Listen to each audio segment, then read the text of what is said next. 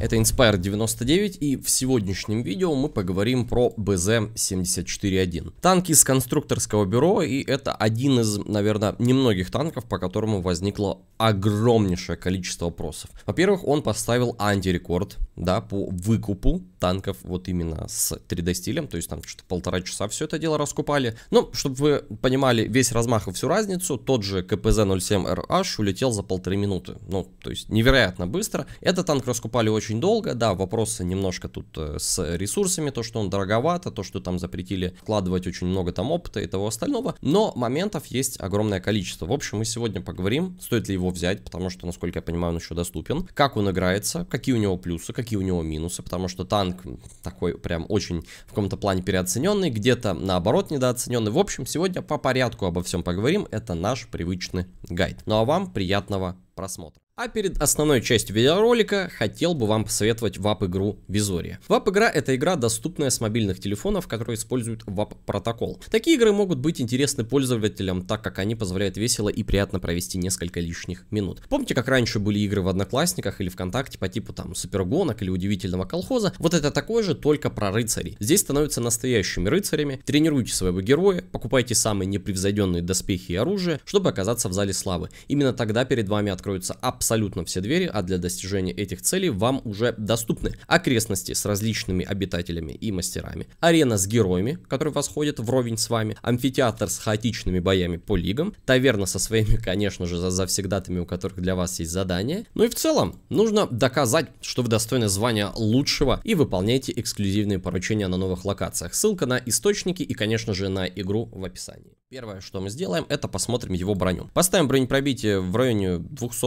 265, да, но это такое бронепробитие на 10 уровне очень хорошее. Что мы видим? То, что нижний бронелист как бы должен пробиваться, он пробивается. Кстати, хочу сказать, если здесь написано 230, 225, пробивают все восьмерки, девятки, десятки, все без разбора. То есть в нижний бронелист он шьется даже под углом. И верхний бронелист нет-нет, удар держит. То есть тут я не могу сказать то, что прям вот сразу. Но в лоб, если хороший снаряд прилетит, то он тоже вас пробивает. То есть меня фаза вчера прям сделала, а мне фазу было тяжело пробить. То есть верхний бронелист как бы так 50 на 50. Может танкануть, может не танкануть. Зависит. Если вы там чуть выше будете стоять, то, допустим, танканет. Если будете наоборот, танк будет сверху по вам кидать, то, естественно, не танканет. Но это не слабый верхний бронелист, ну тоже как бы не такой прям, что на сильно. Что касается башни, вот здесь вот весь и фокус. Она вроде бы вот, ну 325, она базовая идет, 347. Как бы здесь 340, 350, ну все очень хорошо, на подколе больше. Но меня берет просто суперкони пробивает вот куда-то вот сюда. Вроде бы я вот становлюсь по направлению к нему, он берет, пробивает меня куда-то в эту часть, хотя здесь показано то, что, ну, как бы вроде брони нету, то есть там слишком, да, все там для рикошета. Можно, если чуть довернуть, оказывается, здесь уже 280-270, то есть башня, нужно ее настолько идеально по расположению к танку располагать, то есть она должна идеально прямо становиться. Немножко довернул, и оказывается, тебя уже могут пробивать сюда, и здесь всего лишь 250. И это нереально бесит, когда тебя пробивают ну, ну, в какие-то такие стыки, хотя, ну, казалось, да, ну, как тут такой угол, а пробивают. Ну и, конечно же, комбашенка. В комбашенку пихают мое почтение. Я думал то, что ее можно будет как-то закрывать, но, честное слово, когда ты играешь от башни на базоне, в комбашенку прилетает у тебя так часто, как будто ты играешь на каком-нибудь Т-110Е5. Залетает все прям идеально, на 140 миллиметров, и как бы ее вроде бы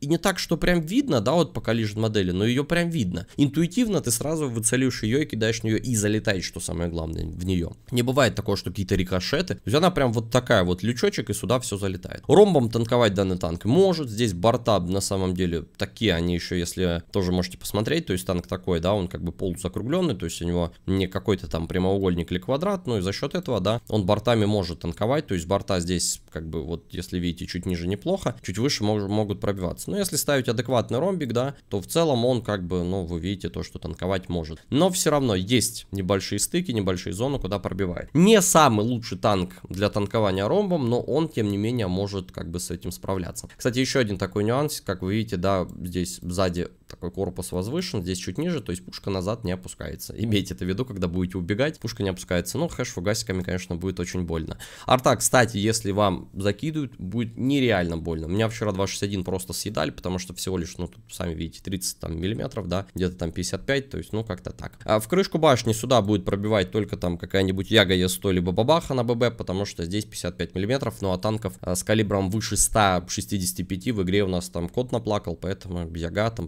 Бабах, не знаю, может какой-то еще танк, напишите в комментариях, но вроде бы не должен быть. То есть броня вроде бы зачетная, но как-то как-то вроде бы он и не так прям сильно танкует. То есть я на этом танке вчера провел что-то там в районе 20 с копейками боев, да, казалось бы, да, там 20 боев, наверное, он должен там себя показать, и он показал. В среднем он танковал у меня 0.66 тысяч, это 1349 заблокированного дамага за бой. Если мы возьмем ВЗ-111 модель 5А, он танкует у меня 1200. Ну, разница в 100 единиц, по коэффициенту даже как бы вазон чуть больше. Ну, в целом, суть понятна. Танк вроде бы типа танкующий, да, у которого там башка не башка, но как бы и близко как бы нет. Если взять того же AMX какого-нибудь М454, то он у меня танкует 1400. То есть как бы танк танкует, но это не Е100, который танкует за 2000, да, это не какой-то там другой танк, то есть он танкующий, но как бы со своими приколюхами.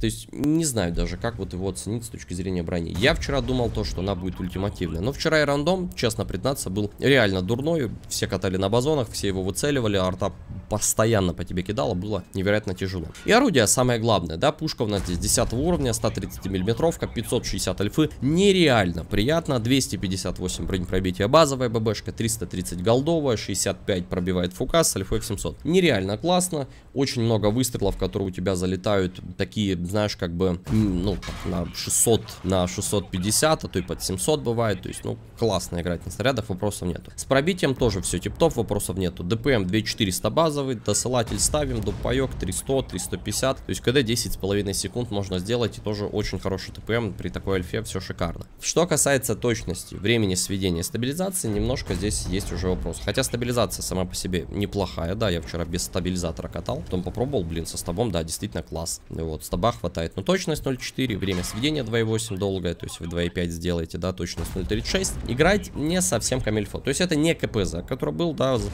который тоже можно было в конструкторском бюро собрать. Там точно шикарная, там сводка полторы секунды, там вообще все тип-топ. Но там и альфа не такая большая, здесь большая альфа. То есть для такой дубины, на мой взгляд, пушка более-менее чем адекватная. Также она опускается вниз на 9 градусов комфортно, вверх на 19 тоже хорошо. То есть в целом орудие комфортное. 5 не могу поставить, потому что, ну, не знаю, все равно как будто чего-то не хватает, какой-то, наверное, комфортности. Но твердая четверка, может быть, где-то 5 с минусом, орудию точно можно поставить. Базовое хп у нас тоже неплохое, то есть 2300, спокойно ставим закалку в первый слот, даже самую базовую. Прокачиваем полевую модернизацию, получаем 2610 хп. Ставим какую-нибудь боновую закалку, получаем, соответственно, 2700 и радуемся своей жизни. Что касается в целом полевой модернизации, там все очень плохо, я даже не знаю, что вам посоветовать. Ставите одно, ухудшаете другое, другое. Можете там поставить, допустим, плюс 4 вперед, но при этом у вас будет минус 5 от скорости сведения. В принципе, перераспределение энергопитания можно поставить сюда при одном условии. Да, у вас ухудшится время сведения, если вы поставите какой-нибудь боновый стаб. Вот поставите боновый стаб, боновый стаб все это дело компенсирует, и вы будете тогда ехать хорошо, и у вас будет хорошая стабилизация. Все остальное ставить, ну, сомнительно очень. Кто-то может одно может поставить, кто-то другое. Мне, в принципе, вот так если честно посмотреть, облегченная платформа еще вкатывает, опять-таки, да, потому что вам там дастся немножко по стабилизации, при этом ухудшится немножко хп. Но опять-таки, если вы поставите сюда боновый стаб, то у вас совсем с этим, да, там получится минус 27, что-то минус там около 30%. Это хорошо будет, то есть вы будете стабилизирован, вы будете ехать очень хорошо, у вас базовый там 48, будете ехать 52.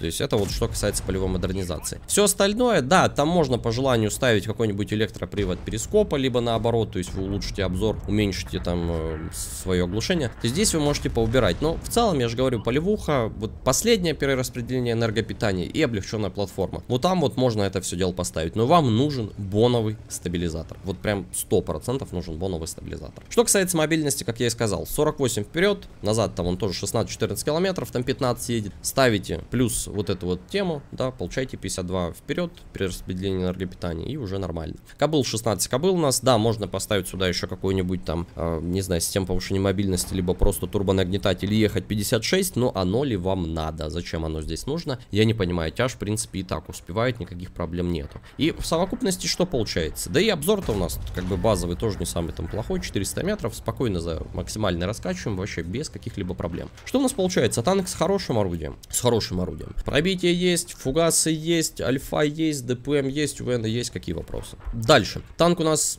идет с живучестью какой-то, да, хп есть, бронирование есть, как бы живет, вопросов никаких нету. Если мобильность, да, есть мобильность, танк и едет, танк с уделкой, и поворачивается все неплохо. Маскировка, да даже маскировка, для, как для тяжа здесь неплохая. И обзор есть, все замечательно. А на игре почему-то не получается это все сделать. Да, вот каждый игрок играет по-разному. Кому-то этот танк зашел, кому-то этот танк не зашел. Понятное дело, что мне очень странно, как блогеры делают сессии в 5100, 5200, выпускают видеоролики заранее, а потом что-то они как-то не могут такие сессии сделать. Очень все это дело удивительно, но в целом, допустим, да, если взять вот моего друга Димаса, да, привет ему большой, вот он вчера на нем 3700, 3800 3 сделал, то есть играл почти в 4К. Я вчера сделал только 3200, но у меня реально что-то прям не шло. Я считаю то, что я данный танк не до конца реализовал, вот прям серьезно, не до конца реализовал. Я считаю то, что на нем при моем скеле 3500 и выше можно делать, а то и стараться к 4. А, сказать, что данный танк плохой, точно не могу. Сказать то, что данный танк прям вот имба-имба тяжело. Не могу сказать, что он прям имба-имба. Я могу сказать то, что это прям очень хороший танк. Сейчас имба это Йох, который ездит как легкий танк, при этом с пушкой ДПМной, как у СТ, с пробитием, как у ПТСАУ, и при этом с броней, как у Тяжа. Вот Йох имба. БЗ-74-1, на мой взгляд, реально напоминает ВЗ-111 модель 5А. По геймплею, по, вот, вообще по концепции все, это реально прокачиваемый вазон 111.5А. По той цене, за которой нам ее продали, да, это танк, никто нас не заставлял, мы сами купили. Конечно, он не стоит таких ресурсов. Ну, представляете, что такое 120 миллионов серебра, да? Можно зарядить какого-нибудь Йоха на full голду и гонять на нем, я не знаю, до, до конца этой игры. То есть, ну, реально очень дорого он стоит. Прям вот бросаться, если вы не купили его и рассматриваете его для покупки, я бы не стал сейчас бросаться, вот все бросать, все ресурсы вкладывать и все. Мне нужно было сделать гайд, мне нужно было сделать э, по нему стрим, да, и потому что его начислят только на пресс-аккаунт после завершения как бы этого ивента, а зачем он мне уже нужен, когда все перекатают, поэтому мне пришлось вкидывать. Но если отмотать время назад и сказать то, что у меня была бы возможность взять, ну там он был бы у меня на пресс-аккаунте, я бы его мог покатать, и потом бы вот спустя то время, как я его покатаю, взял бы ли я его себе на основу? Да нет, не взял бы. Нужен такой геймплей, я бы взял ВЗ-111, пожалуйста, нужно что-то другое, берешь какого-нибудь 60 ТП,